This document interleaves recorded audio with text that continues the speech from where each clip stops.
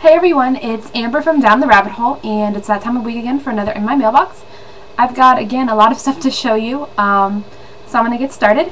First up is a book I got from the author. Uh, Courtney King Walker had approached me because I put her book on The Fringe, which you can see here, on my wish list, and she asked me if I'd like to get a copy to read and review. So she sent this for me for a late Christmas gift, which I thought was super sweet, and I can't wait to read it because this book looks amazing. So I'll be getting to that as soon as possible. And then a lot of this other stuff is all from HarperCollins, so I'm going to get started because there's a lot. Um, first up, I got a second copy of The Last Echo by Kimberly Derting. If this is something that you want to read, and you're a Southern blogger, you can go over to Southern Book Bloggers uh, blogspot, which I'll put a link down below, and uh, sign up for this tour once it goes out, because we're going to be doing that. So that's kind of exciting. I can't wait to see. And then um, I got another copy of Glimmer by Phoebe Kitanidis, and this is like, oh, it's kind of crazy. This is like the third copy I've got. So this will also be going up on tour, and I'll be giving away, away a copy too. So look for that. And then I got a finished copy of Forbidden by Syrie James and Ryan M. James. And this is a son and mother-son, mother-son team.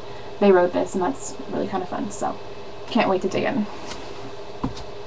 And then I got a finished copy of Hallowed, which is the second one. The first one was Unearthly by Cynthia Hand, and you can see this is like gorgeous. The first one was too. I haven't gotten to read the first one yet, but I will read both of these really soon because I've heard good things and I want to meet Tucker.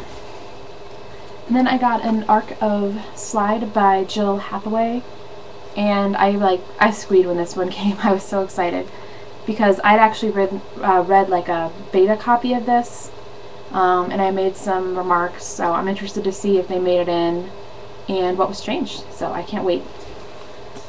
And then last but certainly not least, I got Partials by Dan Wells, and this is an ARC as well. Ooh, look at that in the back. Remember, 22812.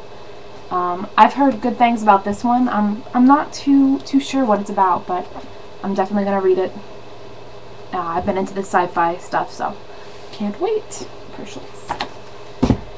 And then I got one book on Amazon.com this week and it was a pre-order of the statistical probability of love at first sight. Um, I've heard good things about this one. I've wanted to read it for a while. I actually got two copies of it because I gave away one for Christmas to a friend, so got that in. And then I went to the bookstore because I think a lot of us did because of this book right here. Bloodrose by Andrea Cremer It's the last in the Nightshade series. Um, I love the first one. I haven't read the second one. I heard it ended on a terrible cliffhanger, and I didn't want to wait because the first one hang, uh, ended on a bad cliffhanger too.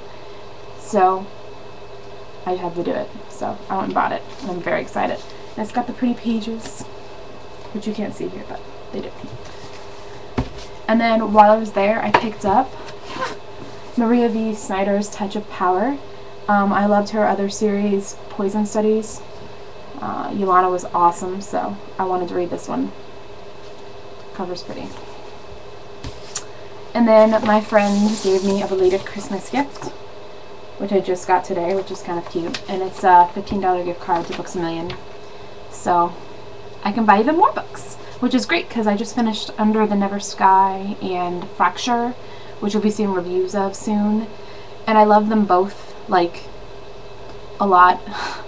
Probably, no, not more than I should. Definitely as much as I should have, because they're both great books. So I will purchase those with this. So that's what I got in my mailbox this week. I know I went through it kind of quick. Needed to, though. Um, I don't know. What did you get in your mailbox?